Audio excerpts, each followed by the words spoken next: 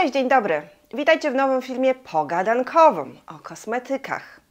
Bardzo Wam się spodobał mój pomysł na stworzenie właśnie takiego cyklu, gdzie będę Wam odpowiadać na Wasze pytania, na komentarze, na wiadomości, gdzie po prostu chcecie coś wiedzieć na temat kosmetyków, składników i nie tylko. I słuchajcie, dostałam ostatnio mm, bardzo fajnego maila. Zaczęła się rozmowa.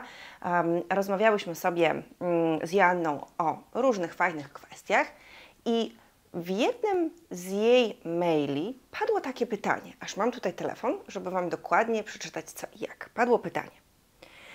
Um, zastanawia mnie tylko fakt, że część producentów tworzy jednak te zdrowsze kosmetyki bez parabenów i mikroplastiku i czy to ma służyć eko bardziej, czy jednak wynika to z braku finansów lub czegoś innego? Słuchajcie, to jest świetne pytanie i też było inspiracją właśnie do tego, żeby nagrać ten dzisiejszy film i po prostu na luzie sobie dzisiaj tutaj z Wami o tym pogadać. Jak ja to widzę, co ja wiem na ten temat, jako osoba, która współpracuje z różnymi firmami kosmetycznymi, mam kontakt z różnymi firmami, pracowałam w firmach kosmetycznych, ale też pomagam przy współtworzeniu różnych kosmetyków. Jesteście ciekawi? No to co? Zaczynamy. Wyobraźcie sobie, że jesteście producentem kosmetyków. Jesteście osobą, która będzie kosmetyki produkować. Na czym Wam zależy? No przede wszystkim na zysku, czyli na zarobieniu na tych Waszych produktach, które stworzycie. I to jest chyba oczywiste. Myślę, że nie powinno to nikogo dziwić, że każdy, kto wprowadza swój produkt na rynek, bez względu na to, czy są to kosmetyki, czy nie, po prostu chce na nim zarabiać. No i teraz wyobraźcie sobie, że tworzy kosmetyki, które są szkodliwe. Co to znaczy? Takie, które będą Wam szkodzić, które będą zawierały substancje mm, szkodliwe, złe, które będą powodowały różnego rodzaju choroby u Was, które będą sprawiały, że będziecie źle wyglądać, poprawi się, pogorszy się Wasz wygląd. No można by było tutaj wymieniać takie różne właśnie kryteria godzinami. I co się wtedy dzieje? Nie dość, że takie produkty się nie sprzedają, więc nie zarabiacie. Z drugiej strony zaczynacie mieć reklamacje, być może jakieś pozwy. Dzieje się źle, więc zaczynacie na tym tracić. Jaki sens ma tworzenie czegokolwiek, co będzie niebezpieczne, szkodliwe, złe? No, logicznie myśląc, nie ma żadnego sensu. No bo właśnie, po co tworzyć produkt, w tym przypadku kosmetyk, który kompletnie nie będzie się sprzedawał, na którym będziemy tylko i wyłącznie tracić, a nie zyskiwać? No i może się okazać, że naprawdę przez taką sytuację, przez taki produkt, w naszym życiu, jako producenta, osoby, która będzie tworzyć te kosmetyki, będzie się działo źle. Lecimy dalej. Jeśli mamy stworzyć kosmetyk, na którym będziemy zarabiać. No bo za, dalej zostajemy w tej kwestii pieniędzy, na którym będziemy zarabiać i z którego będziemy zyskiwać. To musi być on przebadany, stworzony według norm, które istnieją na rynku. Musi być dla Was bezpieczny, a przede wszystkim musi przynosić efekty, bo za efektami idzie sprzedaż. Więc jeśli ten produkt będzie się u Was sprawdzał, to wtedy będzie się on sprzedawał, będzie polecany, będzie o nim głośno, będzie dobra reklama no i będą z tego pieniądze. To chyba też jest oczywiste. No ale pytacie, dobrze, to dlaczego są takie kosmetyki, które są zdrowsze? Dlaczego są takie kosmetyki, w których nie ma tych substancji kontrowersyjnych? Od czego to tak naprawdę zależy? Słuchajcie, zależy od wielu czynników. Przede wszystkim od, po pierwsze, założenia producenta. Jeżeli zakładam, że będę tworzyć kosmetyki, które będą w nurcie produktów bardziej naturalnych, bardziej przyjaznych środowisku, które będą zawierały większą ilość substancji pochodzenia naturalnego, no to muszę stosować się do pewnych norm. Te normy wyraźnie nam pokazują, normy prawne wyraźnie nam pokazują, jaka powinna być ilość substancji pochodzenia naturalnego w formule kosmetyku, żeby nazwać go naturalnym kosmetykiem pochodzenia właśnie naturalnego. Tak, są na to definicje i są na to odpowiednie normy. I według tych norm są też wskazania, jakich substancji należy unikać w formule takiego kosmetyku, żeby zakwalifikować go do półki tych bardziej naturalnych. Więc jeżeli ja jestem tym producentem i chcę tworzyć takie kosmetyki, no to normalne jest, że muszę się tego trzymać. Dlaczego? Dlatego, że pewnym, na pewnym etapie kosmetyki przechodzą badania, przechodzą pewne kwalifikacje, są sprawdzane przez takiego, przez osobę, która nazywa się safety assessor, czyli osobę, która dba o to bezpieczeństwo. No i oczywiście muszę się liczyć z tym, że są też pewne organizacje, które w każdej chwili mogą do mnie zapukać i poprosić właśnie o dokumentację, o sprawdzenie takiego produktu, będą go testować, sprawdzać, czy wszystko jest w porządku, czy deklaracje marketingowe odpowiadają na to, co w tym produkcie się znajduje. Więc trzeba się oczywiście z tym liczyć. Natomiast jeżeli ja jestem osobą, która e, nie chce iść w tym nurcie produktów naturalnych, nie chcę tworzyć kosmetyków, które będą skierowane tylko i wyłącznie do wegan, wegetarian, e, osób, które e, chcą mieć naturalną pielęgnację, tak zwaną zdrową, naturalną pielęgnację. Czyli zależy mi bardziej na tym, żeby moje kosmetyki na przykład były tanie, tradycyjne i trafiały do wielu odbiorców, to ja nie będę skupiać się na tym, żeby one na przykład w 97% składały się z substancji pochodzenia naturalnego, tylko co zrobię? Zainwestuję w kilka składników aktywnych, które będą pokazywały skuteczność danego produktu, ale stworzę bazę tego kosmetyku z e, substancji tanich, substancji ogólnodostępnych, substancji tradycyjnych, takie, które oczywiście, że są przebadane i które są dostępne na listach, na przykład INSI, w deklaracjach i tak dalej, do stosowania w kosmetykach, ale one są tańsze, no bo jeżeli ja mam stworzyć tani kosmetyk dostępny dla wszystkich, tradycyjny, no to nie będę wyszukiwać e, substancji, które kosztują nie wiadomo ile.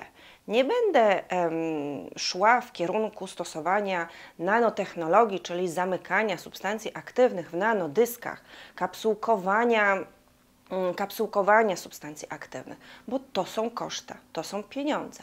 Ja po prostu stworzę tani kosmetyk dostępny dla wszystkich na bazie ogólnodostępnych, tanich substancji. I to wydaje mi się, że też powinno być dla Was logiczne.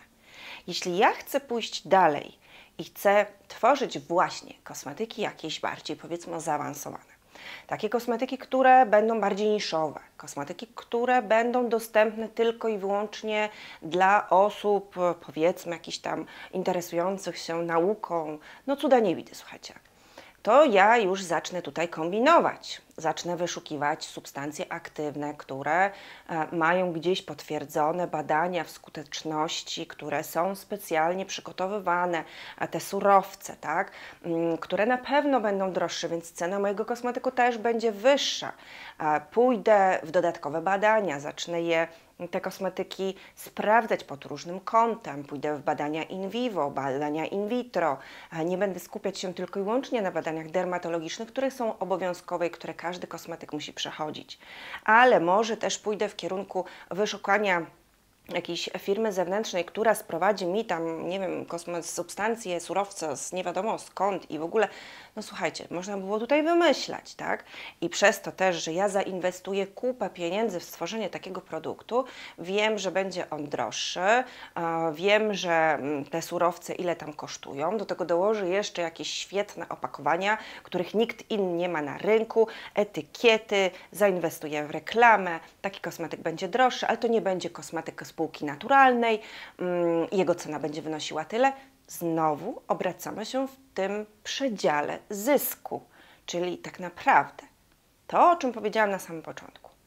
Wszystko zależy od tego, pierwsza sprawa, jakie jest to moje założenie. Czyli ja jako producent, co chcę robić, dla kogo chcę tworzyć, jaki ma być mój produkt, na czym ja się chcę skupić, jaka ma być cena tego produktu ile ja mam na nim zarobić. I to jest takie, taka pierwsza kwestia, w której powinniśmy się zamknąć, jeśli chodzi o tworzenie właśnie takich kosmetyków. Dlaczego jedni tworzą takie, a dlaczego inni tworzą takie. Kolejna kwestia. No właśnie, te trendy. E, już od kilku dobrych lat jest taki trend na właśnie to eko, bardziej naturalne, na bardziej organiczne, na coś, co nie będzie szkodzić środowisku, ale też będzie dobre dla nas. Więc jeżeli idziemy w kierunku tego, żeby były ekologiczne środki do prania, żeby było zdrowe, zdrowsze jedzenie, e, żeby rezygnować z substancji chemicznych, które są szkodliwe dla środowiska. E, wiemy o tym, że na przykład mikroplastik e, jest szkodliwy dla środowiska, bo gdzieś tam spływa w tej kanalizacji i nie tylko i dostaje się na przykład do wód, w których żyją ryby, które później zjadają taki mikroplastik. Całe to zanieczyszczenie naszego środowiska, mikroplastik, który oddziela się na przykład z opon, tak, zanieczyszczenia powietrza, więc jeżeli idziemy w takim kierunku a, zdrowsze, lepsze, bardziej naturalne, czystsze, ekologiczne, to też naturalnym jest to, mm, że zaczynamy rozglądać się za pielęgnacją i kosmetykami, które też będą odpowiadały w tym nurcie. Będą takie po prostu no, no, lepsze i zdrowsze, że tak powiem, tak? I to nie chodzi o środowisko, tylko chodzi po prostu o nas. I kiedy zaczął się cały ten nurt kreować i, i, i, to szło w tą stronę właśnie tej bardziej ekologii, producenci kosmetyków, no oczywiście, że podchwycili trend. Zobaczyli, że jest zapotrzebowanie na to, żeby tworzyć tego typu kosmetyki. Ludzie się tym interesują, chcą tego typu produkty, więc zaczęli je tworzyć. Powstały regulacje prawne, które mówią o tym, jaki to ma być, jaki co to jest ten kosmetyk pochodzenia naturalnego, tak? czego on nie może zawierać, a co może zawierać. I zaczęto iść w tą stronę. A wiemy o tym, że jeżeli ma być to kosmetyk pochodzenia bardziej naturalnego, kosmetyk ekologiczny, kosmetyk zdrowszy, kosmetyk lepszy, to taki producent, który tworzy tego typu kosmetyki, nie może sobie pozwolić na to, żeby wpakować do takiego produktu substancje kontrowersyjne. Substancje kontrowersyjne, jakimi jest właśnie na przykład ten mikroplastik, czy parabeny, czy mm, parafina, pochodne ropy naftowej, e, czy silikony itd., tak itd. Tak no bo wtedy odbiorca, klient, który ma kupić taki kosmetyk, jeżeli on zobaczy, że producent deklaruje nam, że jest to kosmetyk spółki bardziej naturalnej, a ja jestem taką osobą, która czegoś takiego szuka, potrzebuje, e, bo idę w tym nurcie, żyję w tym nurcie ekologii, natury, większej świadomości, chcę pomagać mojej planecie, to ja, widząc na deklaracji producenta lub w INSI, że jest kosmetyk naturalny, widząc silikon, czy widząc paraben, czy widząc mikroplastik, powiem, no halo, o co tutaj chodzi? Przecież to jest ściema, przecież to jest kit. I ja takiego kosmetyku nie kupię. A w momencie, kiedy ja nie kupię takiego kosmetyku, no to producent nie będzie na nim zarabiał. Zobaczcie znowu. Wszystko się ze sobą fajnie łączy. Stąd mamy kosmetyki bardziej naturalne, kosmetyki, które idą w tym kierunku, no i mamy kosmetyki te tradycyjne, kosmetyki, które zawierają substancje kontrowersyjne. Ale właśnie, przejdźmy teraz, bo rozmawiamy sobie cały czas o tych kosmetykach z tej półki bardziej naturalnej wiecie już, że ważną kwestią jest trend, ważną kwestią są te substancje i tak dalej. Wiecie już, że to też wszystko rozchodzi się o pieniądze. Ale dlaczego właśnie niektórzy producenci korzystają z tych substancji kontrowersyjnych, Jakiś czas temu na moim kanale pojawił się taki film, gdzie opowiadam Wam o tym, co to znaczy dobry skład, zły skład, dlaczego jedne kosmetyki są droższe, a drugie kosmetyki są tańsze. I tam właśnie też opowiadałam Wam o tym, jak to jest z tą formułą kosmetyku. I będę to cały czas Wam powtarzać, aż sobie gdzieś zapamiętacie. Mamy różne surowce. Różne surowce, które różnią się między sobą ceną. Co za tym idzie, różnią się też jakością. Opowiadałam Wam o tym w filmie na temat parafiny. E, I jeżeli ja chcę tworzyć kosmetyki tanie, to ja nie będę inwestować w drogie surowce, bo to się mija z celem. Będę, będę inwestować w surowce, które są tańsze, dzięki którym uzyskam cenę kosmetyku, która będzie dostępna powiedzmy dla wszystkich. To będzie tani kosmetyk. To jest pierwsza sprawa. Druga sprawa to jest to, że właśnie są takie surowce jak parafina, jak pewne silikony, jak parabeny, jak pewne konserwanty um, i tak dalej, i tak dalej. Substancje, które też będą tworzyć formułę kosmetyku, bazę kosmetyku, które są po prostu tanie i one będą wpływały na cenę kosmetyku finalnego. Ale to nie wszystko, bo żeby mm, cena tego kosmetyku była tania, no to tutaj też musimy założyć kilka innych kwestii, jak na przykład sposób produkcji. Dlaczego kosmetyki bardziej naturalne są droższe od kosmetyków drogeryjnych? Zastanawialiście się kiedyś nad tym? No przecież to też jest prost, proste, żeby to ocenić. Najczęściej, jeżeli przyglądacie się marce, to widzicie, że marka, która tworzy kosmetyki bardziej naturalne, jest mniejszą jakąś manufakturą, jakąś firmą rodzinną, jakąś firmą, która idzie właśnie w tych trendach eko, firmę, firmą, która nie ma ogromnego zaplecza, która jest dopiero od kilku lat, no bo idzie właśnie z tym trendem produktów naturalnych, trendem eko i tak. Są to też firmy, które samodzielnie tworzą produkty, bardzo często gdzieś w domu, w garażu, na jakimś małym zapleczu. A firmy drogeryjne, tanie kosmetyki, załóżmy Bandi, Bielenda, Liren i cała reszta, Zwróćcie uwagę, że są to ogromne firmy z ogromnym wieloletnim zapleczem, które najczęściej mają swoje własne linie produkcyjne, swoje własne fabryki, własne laboratoria. One są w stanie wytworzyć ogromną ilość produktów. A nie muszą płacić firmom zewnętrznym za tworzenie takich kosmetyków mają swoje fabryki, swoje taśmy produkcyjne, swoje mm, zaplecza, co też bardzo, słuchajcie, skraca tę cenę finalną kosmetyku i on jest po prostu tańszy. Dlaczego kosmetyki, w kosmetykach pojawiają się zmiany? Są firmy, i to Wy też widzicie na przestrzeni lat, nawet nasze polskie firmy, Ziaja, Bielenda i tak dalej, które tworzą kosmetyki i, uwaga, Wiele z nich przechodzi reformulację, wprowadzane są nowe substancje, rezygnuje się z substancji kontrowersyjnych, ale gdzieś tam jeszcze pozostają cały czas te kosmetyki tradycyjne, bo są jakieś tam zmiany i tak dalej. Dlaczego firmy to robią? No bo jest zapotrzebowanie. To jest pierwsza sprawa. Co to znaczy zapotrzebowanie? To znaczy to, że klienci mm, w dużej mierze stronią albo chcą stronić od substancji kontrowersyjnych które, tak jak powiedziałam, są tańsze, mogą być bardziej przebadane, ale są tańsze. Gdzieś tam były jakieś skandale z nimi, gdzieś były jakieś badania, które komuś mogły się nie podobać. Mm, I ludzie szukają właśnie takich kosmetyków, powiedzmy, bez tych substancji kontrowersyjnych.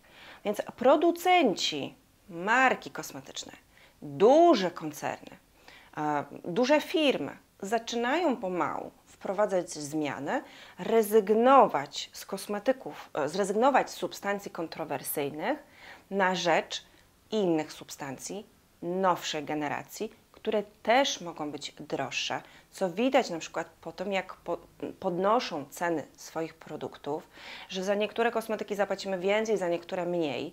I też jak się przyjrzycie dokładnie temu, to zobaczycie, że za te, za które płacimy mniej, jeszcze są z tymi substancjami kontrowersyjnymi, jeszcze nie poprzechodziły reformu, reformulacji, natomiast te, które już są nowsze, jakieś nowsze serie, które powstają, czy na przykład właśnie mm, stare kosmetyki, które zmieniono na nowe, bo to były na przykład produkty, które genialnie się sprzedawały, ale klienci oczekują od producenta zmian, wycofania tam substancji kontrowersyjnych, więc producent to robi. To się dzieje z czasem, to się zmienia przez lata, przez tygodnie, przez miesiące, bo to nie jest tak szybko, to nie jest takie proste wycofać nagle wszystkie e, produkty, które gdzieś tam są w serii sprzedawane, nie wiem, w Rossmanie, zastąpić je nowymi, stworzyć nowe e, w ilości ogromnej. To nie jest takie proste. To się dzieje stopniowo, ale to jest między innymi właśnie odpowiedź producenta na zapotrzebowanie klienta. I jeżeli widzi producent, że jest takie zapotrzebowanie, to on będzie te zmiany wprowadzać. Jeżeli ma feedback od klienta, że klienci chcą zmian, chcą usunięcia pewnych substancji kontrowersyjnych, to z czasem, jeśli jest to producent, marka, która odpowiada na potrzeby klienta i zależy mu na tym, a nie tylko na tym, żeby mieć zysk, to on takie zmiany będzie wprowadzał. Więc tak naprawdę wszystko zależy od nas. I tutaj znowu wracamy do punktu wyjścia.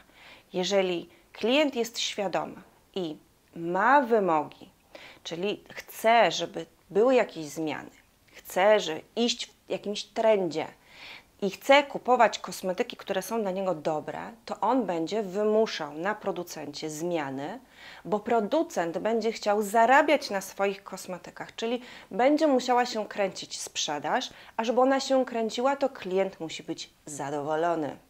Jest jeszcze jedna bardzo ważna kwestia, o której chciałabym Wam tutaj przypomnieć. Dlatego, że o tym mówiło się kilka lat temu bardzo głośno, teraz już o tym się nie mówi, to stało się po prostu normą. Deklaracje producenta.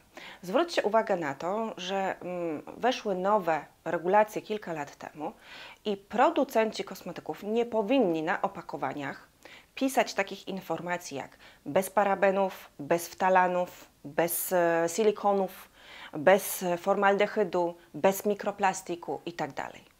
I większość, choć nie wszyscy, trzyma się tego i rzeczywiście takich deklaracji nie stosuje na swoich produktach, bo jest to niezgodne z prawem takie deklaracje umieszczać. Co z drugiej strony powoduje, że troszeczkę klienci mm, mogą nie wiedzieć co i jak. Jeśli jesteście osobami, które no nie korzystają um, z wiedzy, nie potrafią analizować składów, nie potrafią czytać kosmety składów kosmetyków, nie znają się na tych składnikach, e, no to wiadomo, kiedyś takie deklaracje były dla Was przydatne i na pewno byłyby nadal przydatne, gdyby się pojawiały. E, natomiast to, że producent nie umieszcza takiej informacji na kosmetyku, wcale nie oznacza, że ten kosmetyk taki nie jest. Czyli jeżeli tworzy skład, powiedzmy czysty, bez substancji kontrowersyjnych, to on wcale nie musi na kosmetyku umieszczać takich informacji, że nie ma tego, tego, tamtego i tak, i tak dalej. Bo gdyby to zrobił, to może złamać prawo. Takie są dzisiaj regulacje prawne. Niestety, tak jak powiedziałam, jeszcze cały czas są producenci, którzy to wykorzystują, szczególnie producenci marek zagranicznych. Bardzo często takie informacje możemy znaleźć na produktach marki Isana, która jest um, tworzona pod Rossmana, ale to nie jest polska marka, w sensie to nie jest tak, że ta marka powstaje tutaj. Um, więc no, Wiecie o co mi chodzi. Tak było i tak pewnie będzie, że nie wszyscy producenci będą trzymać się tych deklaracji marketingowych, ale słuchajcie, o deklaracjach marketingowych można by było tak naprawdę stworzyć osobny film. I myślę, że to też mogłoby być dla Was ciekawe, bo mm, sama współtworzę pewne marki i pracuję przy tworzeniu deklaracji marketingowych i pracowałam w firmie, z ogromnym zapleczem, która takie deklaracje tworzy od ponad 30 lat. Wiem troszkę, jak to wygląda, więc jeśli będziecie zainteresowani, to sobie na ten temat porozmawiamy, bo no niestety są, są pewne regulacje i czegoś jeszcze brakuje. Czegoś, co powinno się zmienić, moim zdaniem, e, a też powoduje zamieszanie wśród klientów i taką dezorientację wśród klientów. Więc jeśli będziecie chcieli, to sobie porozmawiamy właśnie na temat tych deklaracji. Dobra, podsumujmy na zakończenie tego filmu. Dlaczego tak jest, że niektórzy producenci tworzą kosmetyki zdrowsze, bardziej eko, bardziej naturalne, a są tacy producenci, którzy dalej korzystają z tych kosmetyków, kon, yy, kosmetyków którzy dalej korzystają z substancji kontrowersyjnych yy, i wrzucają gdzieś tam do składów różne substancje, które mogą lub nie muszą Wam się podobać.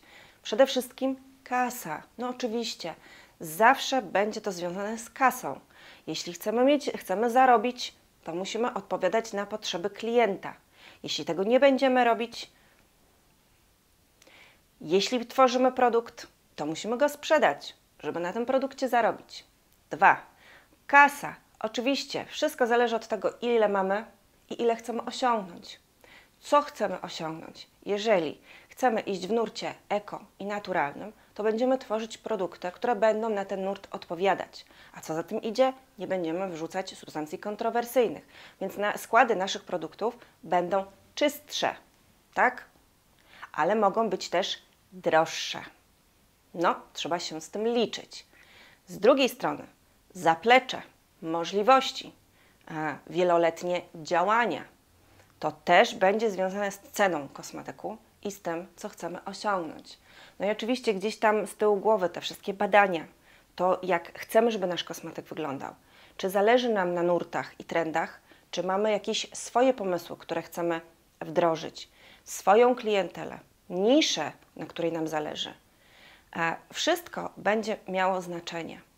Więc jeśli Wy jesteście osobami, które idą w tym nurcie produktów naturalnych, chcą żyć zdrowo, ekologicznie, dobrze, pięknie, czysto, żyć w takim środowisku, dbają o to z każdej strony, są weganami, wegetarianami i tak to ja nie wyobrażam sobie, żebyście korzystali z kosmetyków tradycyjnych, e, pełn, przepełnionych substancjami kontrowersyjnymi, e, które będą kompletnie zaprzeczać Waszej ideologii życiowej. Więc myślę, że kosmetyki bardziej z tej półki naturalnej będą dla Was najlepszym rozwiązaniem, bo one się będą po prostu z tym wszystkim, co wyznajecie Waszymi zasadami, wartościami życiowymi, będą się cudownie łączyć. Ale pamiętajcie, są też osoby, które nie idą w tym kierunku.